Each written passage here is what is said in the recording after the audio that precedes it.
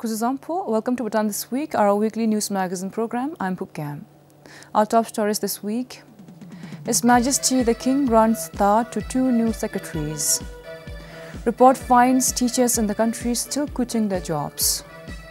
And High Court sentenced Khandu Wangmo to 21 years in prison for three counts of sedition. His Majesty the King granted Dhar to appoint two new government secretaries. Pema Chodron is the new Foreign Secretary. She was serving as the Director General of the Multilateral Affairs Department with the ministry. She also served as the ambassador at the Royal Bhutanese Embassy in Bangladesh and later as ambassador at the embassy in Brussels. Rinchen Wangdi has been appointed as the new GNHC secretary. He was serving as a director at the GNHC. Before that, he was the chief program coordinator under the same office. Coinciding with the birth anniversary of His Majesty the 4th Gyalpo, a seven-foot wide jade Buddha statue was consecrated at the Tsalomafe Training and Resource Center for Nuns in Thimphu.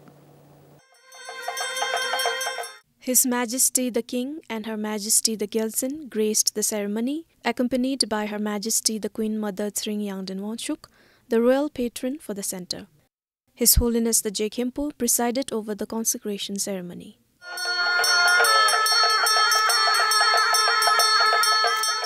The Lumbini Garden Foundation, an institution that promotes Buddhist values based in Spain, offered the statue to Bhutan Nuns Foundation. The statue was carved in Myanmar. Snampem for BBS News. A recent review of Bhutan's planning system has found it is feasible to shorten the planning cycle from five years to three years. A group of civil servants based at the Center for Bhutan and GNH Studies conducted the research. They referred to the budgetary expenditures, election cycle, and development partners coordination for the study. One of the papers in the review studied the Finance Ministry's budget and expenditure data of all the projects implemented in the 11th and the 12th five year plan. It concluded that the average duration of implementing the plans is two and a half years. It means the majority of the projects during the five year plans were completed in the first three years.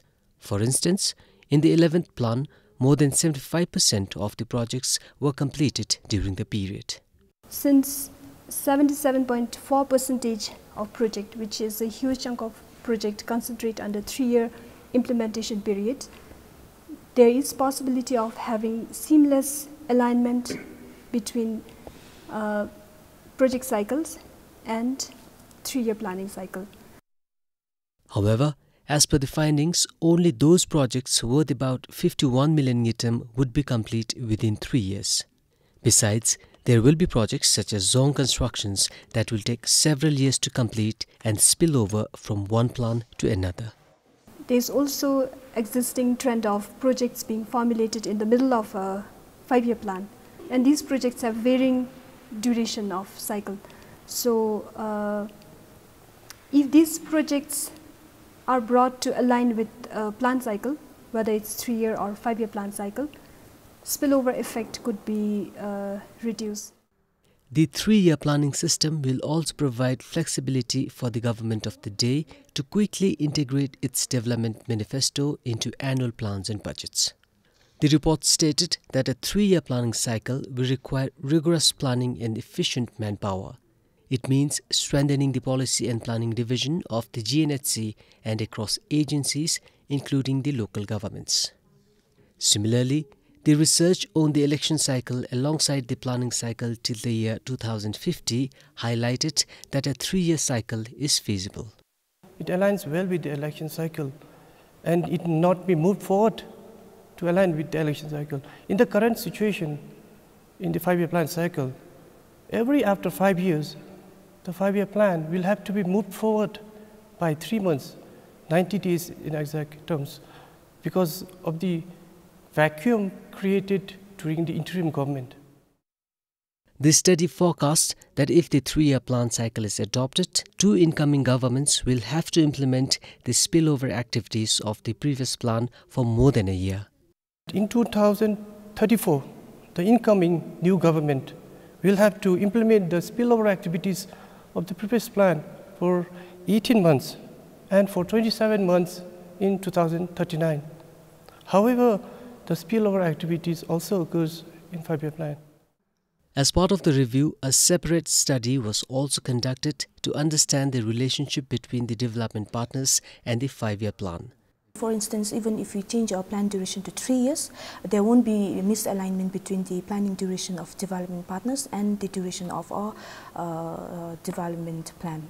As long as uh, there's a shared objective, shared development objectives between the donor and the recipient country, the donor, uh, uh, the development partners will align their uh, plan with the country's existing plan duration. A five year plan has been guiding Bhutan's developmental processes since 1961. As per the report, a new form of governance cycle since 2008 and the ever changing needs of the economy and citizens have led to rethink the relevance of the planning system and explore a more effective alternative. Meanwhile, it was learned that the GNH Commission is revisiting the planning system of the five year plans.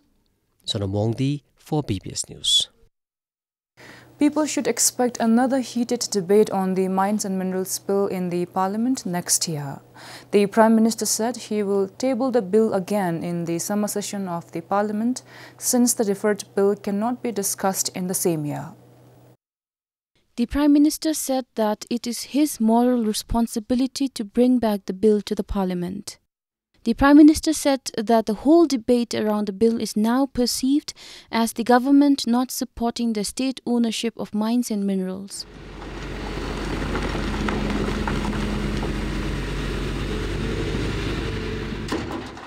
He said the government will take this remaining time to discuss properly the provisions of the Mines and Minerals Bill. The opposition leader said he is doubtful that there would be any change.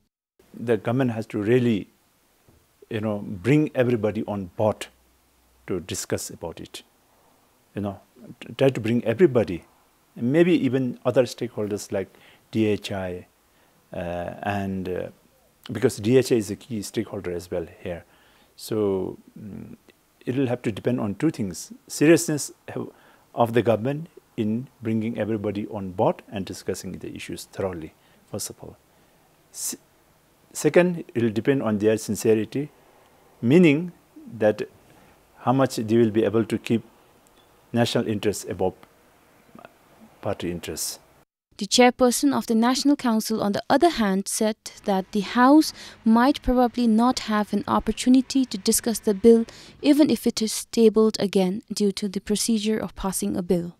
As per the chairperson, the two houses agreed that the strategic mines be managed by the state and leave non strategic mines to the private sector.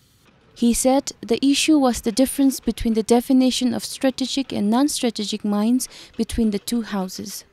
The chairperson said the strategic mines are all minerals found in the country with high value, such as dolomite, graphite, and coal, among others.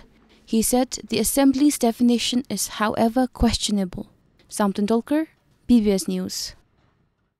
Despite being the highest paid group of civil servants in the country, several teachers in the country are still quitting their jobs. As per this year's annual education statistics, more than 350 teachers left the profession this year, which is almost double than that of last year.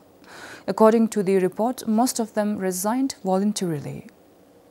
Of more than 350 teachers who left their jobs, about 220 resigned voluntarily, 54 superannuated, while 3 had their employments terminated, and 49 left after their contracts expired.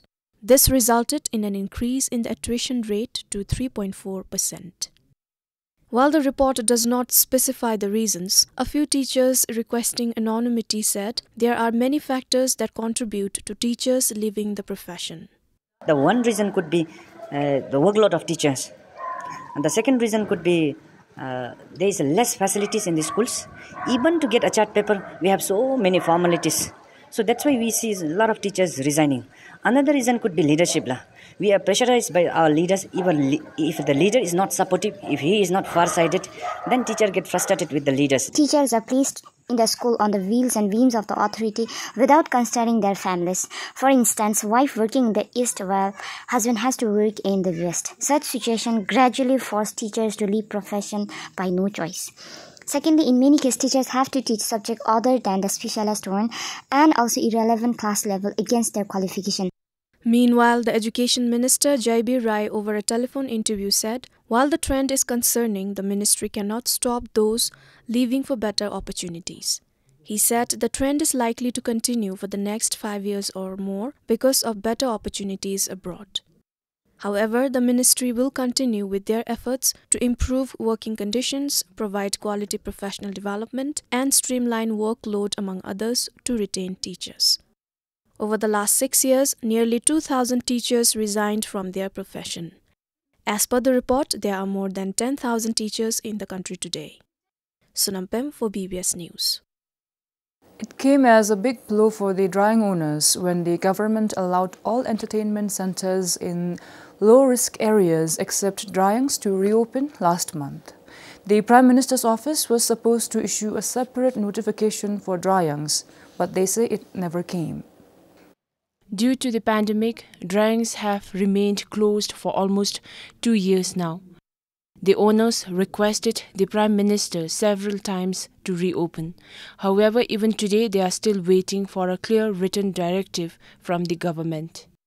다 같이 미줄은 신기 산을야 차 nga디지 데 록수베라 야짜니 고급되나 마차를 답도 마도위 기두디세 가라 식디기베야 미줄은 신기 고급에 레셔를hinla 인루 열레 세계 짝에서도 순이 다도 순세가니 제니면도서 슈닐라 내가 저를 갖다 록수베라다 슝루 슈일라 다 익토로 베베 때 자연데 고다니나 표와진 거데 베피니나 아니 희상 산지 엘레만 안디게 베까지 장나하세 내가 지게 아니 라잉 아타가이 미치와진 내가 지 드라잉기 차라제미 베루다에 되게 진다세루다에 조다세루다에라 아니 입지 굽잘 합지 긴가지기 데 랑고랑도베 데수님의 에스주닐라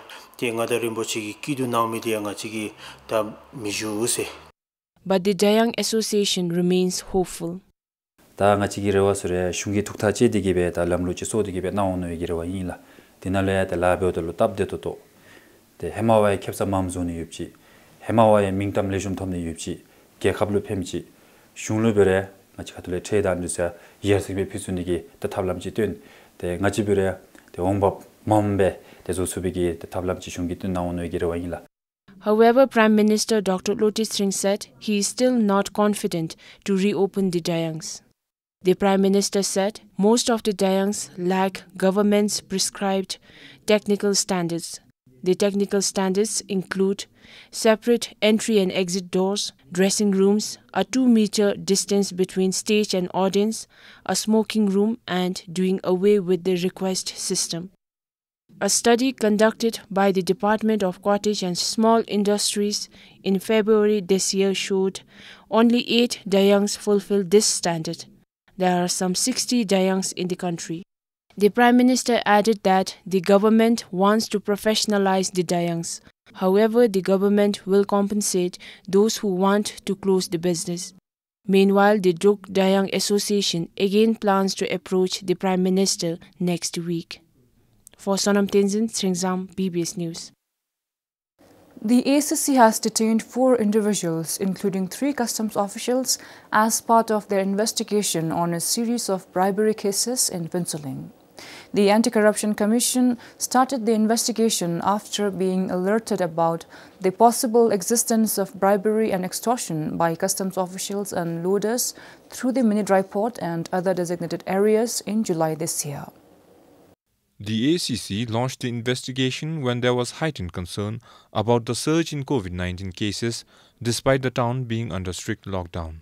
In one case, two individuals allegedly teamed up to venture on a supply of betel nut business. They established links with customs officials and bribed them to evade sales tax. The bribe ranges from 10,000 ngultrum to 80,000 ngultrum per instance. The duo was also involved in smuggling tobacco products. According to the Commission, they found customs inspectors involved in soliciting bribes from importers and suppliers in a more discreet way. They were found using bank accounts of friends and business people to blend their money with normal business related financial activities.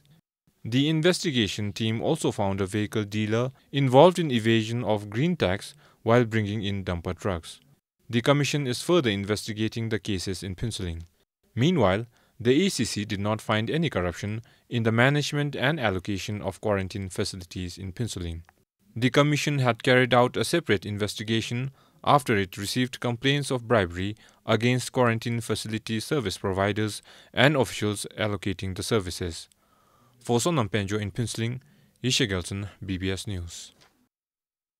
The High Court sentenced Khandu Wangmo from Thimphu to 21 years in prison. The court gave her a prison term of seven years each for three counts of sedition.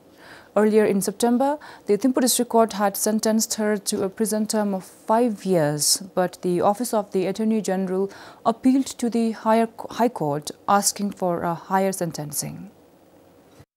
The district court convicted her of writing three seditious documents. As per the district court's judgment, she asked a few individuals to distribute the seditious documents with the intent to ruin the lives of her ex husband and his family members.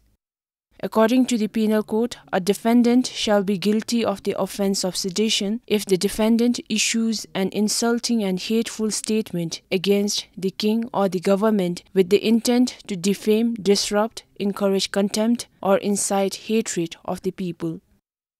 It is a felony of the third degree with a prison term of 5 to 9 years. Meanwhile, the High Court is yet to pass its judgment on the conspiracy case, which also involves Khandu Wangmo. In July, the Thimphu District Court had sentenced all four defendants involved in the case, but three of them appealed to the High Court. Sringzam, BBS News.